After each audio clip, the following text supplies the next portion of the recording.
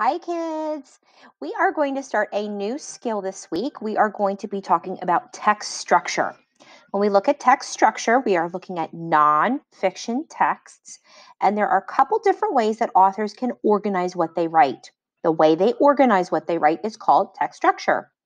They can organize what they write using a sequence structure, a description structure, a compare and contrast structure, a cause and effect structure, and a problem and solution structure. I know you've heard all of those words before. We're going to go into those each a little bit, and then we're going to focus on one of them. All right, so let's start with problem and solution. Problem and solution is just that. It is when the text is organized around a main problem and then different ways to solve that problem. Let's look at this example here. Our trash can was overflowing every day we realized we were throwing away too much paper. Our solution was to develop a recycling program. Problem, trash overflowing. Solution, recycling, pro, um, recycling program. When you have a problem and solution text structure, you're going to see words like problem, solution, solve. Another text structure is a, is a description text structure. This is when you're reading about a topic and there are just lots of details describing that topic. So, for example, most dogs make great pets. Dogs are many different sizes and colors. They have cold, wet noses and sharp toenails. Because they are so energetic, they are great at playing catch. Dogs are man's best friend. So, our main topic are dogs, and we found out lots of details about dogs. We found out they have different sizes and colors. Uh, we found out about their cold, wet noses, their sharp toenails, they're energetic. Some signal words we look for, for instance, in fact, for example, and characteristics. We've seen lots of texts that describe a topic. Authors can write using compare and contrast, we know when we compare and contrast, we are looking for how things are the same and how they are different. You are familiar with these signal words down here. Let's look at our example. Grandparents are so fun. Grandmas are great at cooking and snuggling. However, grandpas are experts at fishing and storytelling. They are both important members of our family. We're comparing grandmas and grandpas. How are they the same?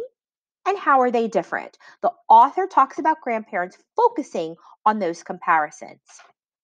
An author can write based upon cause and effect relationships. So you know a cause and effect is one thing makes something else happen. And you're familiar with these signal words right here. Let's look at an example. We were ready for a fun filled day at the park. We packed our picnic, looked out the window, and sadly realized it was raining. As a result of the weather, we took games and played in the shelter house. So there's a cause and effect. The rain or the change in weather forced them to take their picnic indoors. One thing made something else happen. And the sequence, the text structure that we're going to focus on this week and the next two weeks is the sequence text structure. This is when an author writes their text based upon an order. So we're going to see things happen from like a beginning to an end. It's going to give a logical sequence of what is happening. Let's look at an example. We couldn't wait to leave our trip to Di- we couldn't wait to leave for our trip to Disney World. First, we grabbed our suitcases. Next, we jumped in the car and got settled. Finally, we felt the excitement rise as we pulled onto the road. There is a clear order here first, next, finally. We can add more signal words such as first, second, third, before, after, during, or next. We could even use dates and times. We could say this morning, I, after lunch, I, and at dinner time, we we could use on Monday, I went to, on Tuesday, I did, on Wednesday, we, you get the idea? Sequence is in an order, whether it's a first, second, third order, or it's a time order having to do with days of the week, time of the day. Um, it could even be months of the year, or it could even be years. We'll take a look at some more examples like that. So let's talk a little bit more about sequence text structure because that's our focus. Authors use it to show how to do or make something, or to show a series of events that happen. If you're reading about how to do something, mm, how to make a peanut butter and jelly sandwich, the author is going to have to use clear steps in order for you to understand what to do first, next, then, and last. If it's showing a series of events that happened, it might be by date. Um, in 1982, in 1984, in 1989.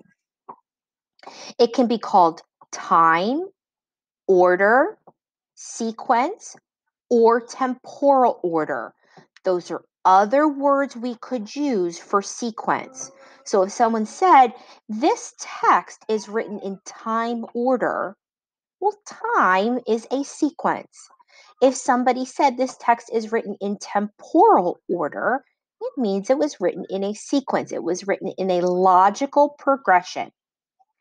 This structure is from a point in time to another. So whether it's a five minute span of time or a 10 year span of time, the, the text is going to be organized from one point in time to another point in time. Dates and times are also signals for this type of text structure. When we read text structure in a sequence, these are some key questions to ask ourselves to make sure we're understanding what we read, what we are reading. What is the first event, the middle, and the last event? That helps us reorganize what we read about in our brain. How long is it from the first event to the last event? So that's showing you how big of a time frame is the author focusing on and what does it explain? What is it talking about? When we read sequence text structure and we are organizing those thoughts to those questions, it's really helpful to use a graphic organizer. There are all sorts of sequence organizers that we could use. Here's one first, next, then, and last.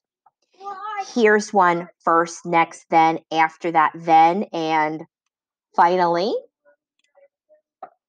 Here's one that is a good one for a timeline. So if you are doing something based upon dates, we could do one date here, the next, and so forth. It shows you a clear progression. Sorry, my little girl is making a lot of noise back there. So if you hear something, it's just her. She's playing. And here's another one where we put the event that happened and then we can put a nice description of what that event is. So if the author is talking about several events in a series, okay, we might say, okay, the event on April 1st, we could put April 1st and what happened, April 2nd and what happened, and so forth. Let's take a look at a passage. I'm going to move myself off the screen here a little bit so I can read. The History of Disney World.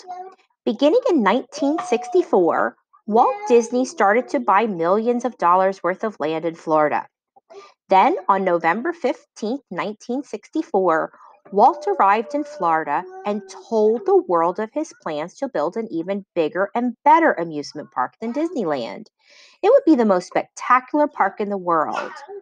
When the Magic Kingdom opened in 1971, Mickey Mouse walked alongside the very first visitors to the park. Between 1971 and 1973, 2 million people visited Disney World. In 1982, Epcot was added to Disney World, followed by Hollywood Studios, originally named Disney MGM Studios in 1989. The newest addition to Disney World is Animal Kingdom, a zoologically themed theme park opened in 1998. Now, new shows and attractions continue to open at all of the Disney World theme parks. Whew, that was a lot of information. If you're like me, you focused on reading the words in that text and you didn't pick up on much that happened. If we can use the text structure, it helps us organize the ideas we read into our head. So I'm going to go back and look. I see some key words that show me a sequence of events. And I highlighted them for us. If after you read and you do exactly what, it, what I did, whoa, go back and look for the text structure. I see lots of dates throughout. I can go back and look at each of those dates to see what happened. Okay. Back in 1964, Disney he started to buy a lot of land, millions of dollars worth of land. Okay. Later in 1964, he got to Florida and he decided to build a better amusement park. In 1971, the Magic Kingdom opened.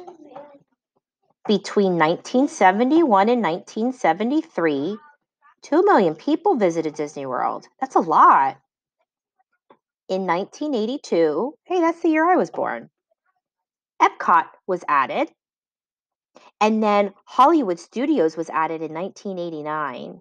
And then finally in 1998, the Animal Kingdom was added. That sequence text structure just helped me understand what I read a little bit more. I now know these dates show me the different things that were added to Disney World to make it what Disney World is today. I could take it a step further. I can decide, okay, I want to organize this, this information so that I fully understand it. I want to use a graphic organizer. Well, which organizer is best? Well, there's really no right or wrong answer. You have to pick one that helps you organize something the most. I decided on this one. Because it's giving us lots of dates, I want to see it on a timeline. That will help me understand the text the most. So I take my passage and I use my highlighted dates to help me fill in my graphic organizer. So in 1964, now I'm describing what happened. Here's my date. Here's what happened. He bought lots of land. My next date on November 15th, 1964. I read what happened there. He announced his plans for the new amusement park. My next date goes in my next bubble, 1971. That's when Magic Kingdom opened. My next dates, 1971 to 1973. Popular park, 2 million people visited. My next date, right over here, as well as what happened, Epcot was added. My next date, 1989, Hollywood Studios was added. And my final date, 1998, Animal Kingdom opened. Notice I'm out of dates. That's okay. I'm not going to put anything here because I don't have anything more to add. But this timeline helps me organize the information I read about and put it in an order in my brain so that I know what happened. Keywords help us decide what the text structure is. This text structure is sequence because it's sequenced in the order of dates. And then my graphic organizer helps me organize the information I read about. Let's do one more. Move myself over here. Caring for creatures. Preparing for an exotic pet is unique. First, you must do research to find an exotic pet good for your home environment. Then, you must find someone who breeds and sells the pet you are interested in. Before you buy your pet, you will need to gather the supplies you need, and many will be ordered online since regular pet stores don't carry exotic materials. Finally, before you bring your pet home, find a good supply of the unique food for your new food your new pet will require. Again, it's a lot of information. We don't always remember what we read about. It's okay. Use the text structure the author built in to help you figure out what you read about. This author used sequence text structure as well. I've got keywords first, then, before, and finally. It helps me organize the series of events in my brain. Now, first of all, I have to think about what am I reading about? Well, my topic sentence tells me I'm reading about preparing for an exotic pet. So, in order to have an exotic pet as a pet, there are some steps you need to follow. These key words show me the order of those steps. Now, to understand more, I need to look at more than just those sequence words. I'm going to use a graphic organizer to help me. Again, there's no right or wrong answer. You need to pick the graphic organizer that's right for you. I'm not going to choose this timeline one again because there aren't dates. I need a little bit more simplistic. I'm going to choose a basic first, next, then, and last type of organizer. So I'm going to take my passage and I am going to use my keywords to fill in my organizer. First, and then I'm going to read around that keyword. If I reread around it, it explains that you need to do research on exotic pets to see what kind would be best for you. Now, Notice my words don't match up here. That's okay. You could cross this out, white it out, or write a different word next to it. It's still happening in order. You can make any graphic organizer work for you. We're still going a first, then, before, and finally. Okay? So my next box, then, find a breeder who sells the pet you are interested in. After that, you need to gather the supplies you will need for your new pet. It tells us in the passage to shop online because most stores won't carry what you need. And then our last keyword, finally, get a good supply of the food you will uh, of the food your pet. Sorry about that. I see my typo. That your pet will require. By finding the keywords for the sequence text structure and then using those keywords in my graphic organizer with what happened helps me better understand what I read. Okay, that's it for today's lesson. Now it's your turn. You are going to open up your assignment in Google Classroom and follow the directions. You are going to look for some keywords yourself to help you figure out um, what keywords are used for different text structures. That's all for today. I will see you next time when we do a little bit more with text structure. Have a wonderful day and a wonderful week, kids.